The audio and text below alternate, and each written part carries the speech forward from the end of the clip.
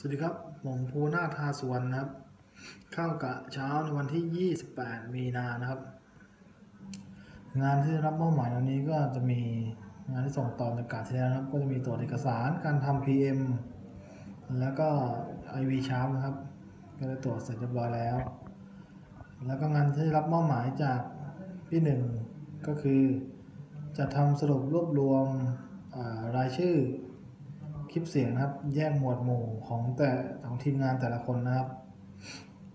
ก็ทำเสร็จเรียบร้อยแล้ว และของพี่ต้นก็คือ รวบรวมข้อมูลการทำ WI ของทีมงานที่ผ่านมานะครับ ว่ามีอะไรบ้างเเสร็จสมบูรณ์แล้วหรือยังขขึ้นออนไลน์แล้วหรือยังนะครับก็กำลังดำเนินการอยู่นะครับ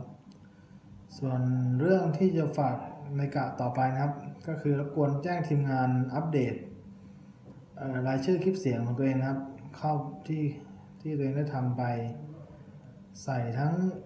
แยกประเภท ใส่ลิงก์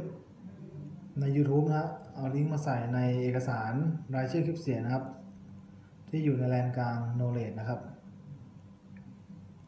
ก็เท่านี้ครับ ขอบคุณครับ